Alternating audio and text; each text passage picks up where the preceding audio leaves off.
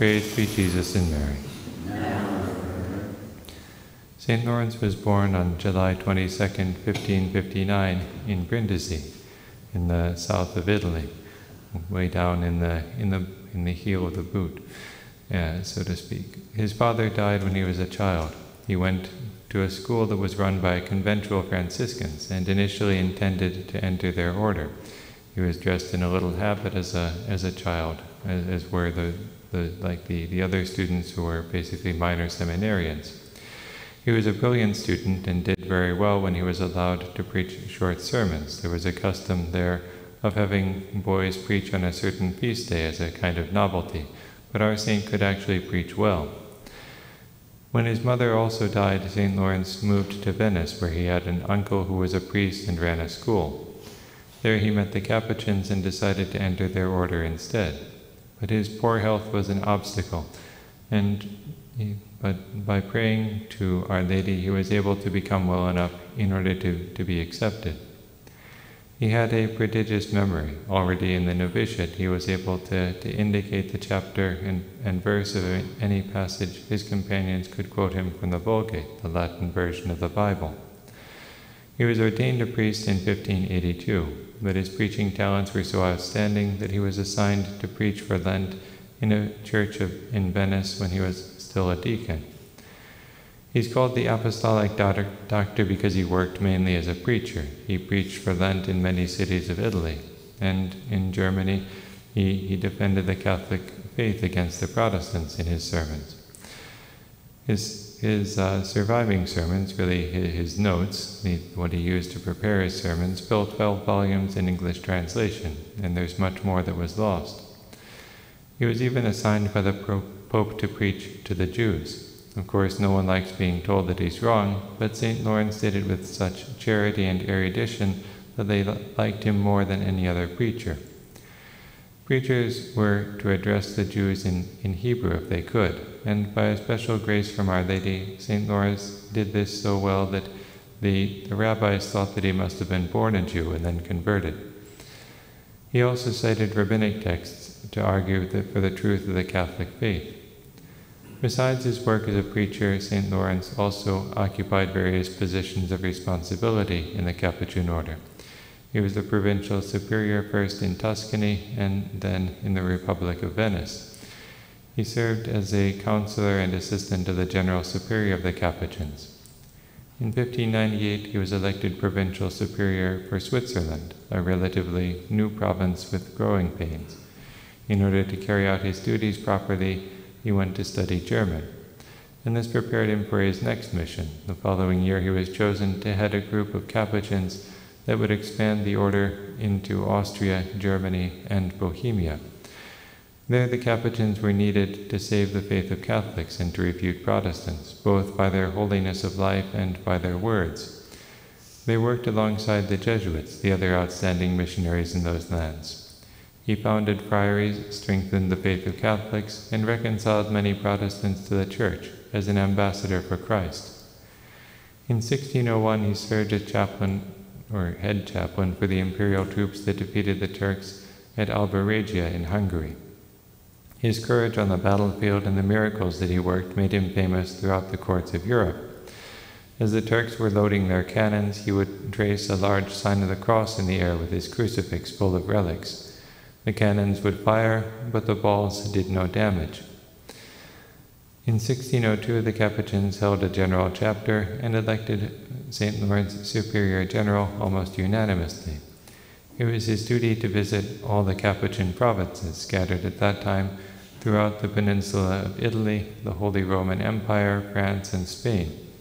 The last time any Capuchin General Superior had succeeded in visiting all all the provinces was decades before, when the order had not yet expanded much outside Italy. It was a prodigious march through Europe, lasting almost the whole of his three year term. He would walk 20 or 30 miles a day, or even more. Some of his travel was through regions that were mostly Protestant, where Catholic churches were few and far between. One time it was the, the vigil of St. Lawrence the Martyr, his patron. He and his companions walked 20 miles before noon in order to get to a church to be able to say Mass. The strict Eucharistic fast of that time didn't even allow for water, so at least our saint hadn't eaten or drunk anything since midnight. At lunch, they learned that the next Catholic church was 40 miles away, and so they, they set off immediately, walking another 20 miles that day while keeping the fast required by the Friday and the vigil. When they woke up in the morning, they went the remaining 20 miles, still without having anything to eat or drink, so that they could receive communion at, at Mass. This shows how important the Mass was to them. It was something uh, really that they considered indispensable. If there was a, even at the, the cost of, of great sacrifice, they would make sure they got to Mass every day.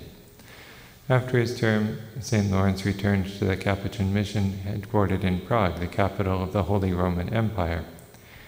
His preaching was attended by members of the court and ambassadors, many of whom wanted his advice about policy questions. When he celebrated Mass in private, he would take his time and experience ecstasies. His private Masses got longer and longer. They began to take hours. The emperor was, was weak, probably mentally ill, and the Protestants bullied him and other authorities into making ever more concessions, even as the Protestants failed to recognize the rights of Catholics. So they wanted rights for themselves, but not for others. Priests were being killed, processions attacked, and the territory of Catholic princes invaded and occupied. A Catholic league was needed for self defense, and St. Lawrence was sent as its ambassador to Madrid and Rome to secure financial support for its army. After he succeeded in this mission, he returned to Prague. A few years later, when the emperor died, he went back to Italy. God gave him power and authority over all demons and to cure diseases, as the St. Luke says of the apostles. Wherever he went in Italy, he was mobbed, and he cured innumerable sick and cast out countless demons. Somehow crowds would always show up, even when he arrived unannounced and secretly. Whatever time he could get away from the crowds, he spent in deep prayer, like our Lord. Our Lord was mobbed by crowds during the day and spent his nights in prayer. St. Lawrence would get up at midnight, pray the divine office, and then say Mass, typically finishing eight to ten hours later. In 1618, he was hoping to finally get back to Brindisi, where he hadn't been for 13 years, but he was forced to change uh, his itinerary and stop in Naples. The, the citizens of the, the Kingdom of Naples were suffering terribly from the bad rule of the Spanish viceroy, the Duke of Osuna the Neapolitan nobility appointed St. Lawrence their ambassador to Philip III, the King of, of Spain. When he tried to refuse, they presented him with a written order from the Pope, so there was nothing to do. He had to set off. The Duke of Osuna sent assassins after him to stop him from getting to Madrid, but on May 25, 1619, having avoided those assassins and other obstacles, St. Lawrence reached the, the, the king in, in Lisbon. But when negotiations seemed to be going well, uh, finally, he, he fell ill, probably due to, to poisoning. A month later, he died on his 60th birthday, July 22, 1619.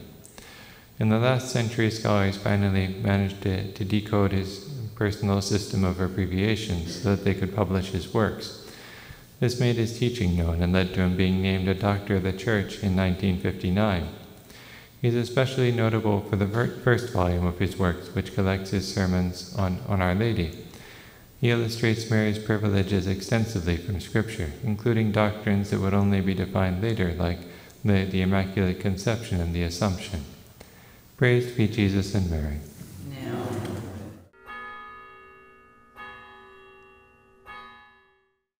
Would like to grow in love and knowledge of the Immaculate Virgin Mary, consider a subscription to the Missio Immaculatae magazine. The Missio is a bi monthly magazine published by the Franciscans of the Immaculate for over 15 years. Every issue of the Missio features articles about Our Lady's privileges and her mission in the Church and world for the sanctification and conversion of souls. The Missio takes to heart the ancient saying of the Church, De Maria Nunquam Satis, of Mary you can never say enough.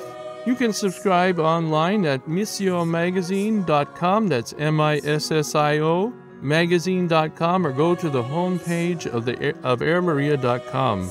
Back issues of the Missio are also available upon request. The Missio is a practical way to behold your mother and take her into your home.